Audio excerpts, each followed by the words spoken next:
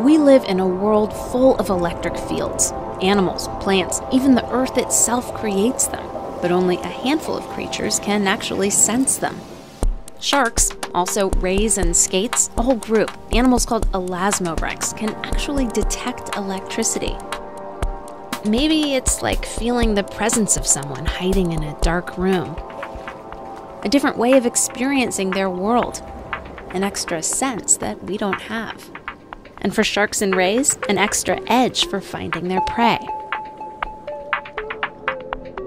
The discovery of this exceptional sense dates back 300 years, long before the discovery of electricity, to a man named Stefano Lorenzini. Lorenzini was a doctor with a passion for anatomy who one day found himself dissecting a ray, which is where he noticed the strangest thing tiny pores that dotted the ray's skin. He drew a picture. It shows how each pore led to a tube full of goo, and each tube ended in a little pouch. Those little round pouches reminded him of ancient Roman flasks called ampullae, so that's what he called them. But when it came to the function of those ampullae, Lorenzini was stumped. Three centuries later, we're still figuring out exactly how electroreception works. And a big part of that is studying what makes these electric fields in the first place. Every time this fish opens its mouth to breathe, it exposes its mucous membranes to the salty water, creating a tiny voltage that disappears every time the mouth closes. At Florida Atlantic University, scientists are actually able to measure this phenomenon. That repeating on off pattern is an electric frequency carried easily through salt water. 2 hertz, 2 breaths a second. Stingrays like these can tune into that same frequency, like a radio channel. Take a close look at a stingray and you can see those pores. They lead to long canals that cluster together.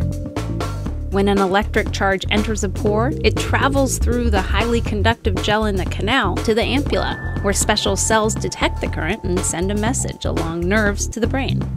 That's how stingrays can spot prey hidden beneath them, even though their eyes are on top of their heads. But the ampullae aren't just for hunting. Pores on the ray's back also let it know if someone's trying to sneak up on it from behind. Here, the researchers placed diodes on the floor of a tank, replicating the same electric frequency as a breathing fish. They flip the current from circle to circle, and the ray strikes the active target.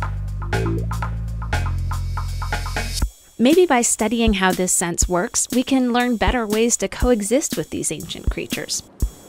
Find new ways to keep them out of our nets and away from our surfers. Of course, none of this really explains what it's like to feel electricity.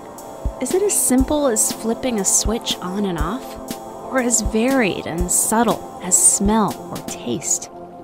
A whole spectrum of experiences hidden from the rest of us.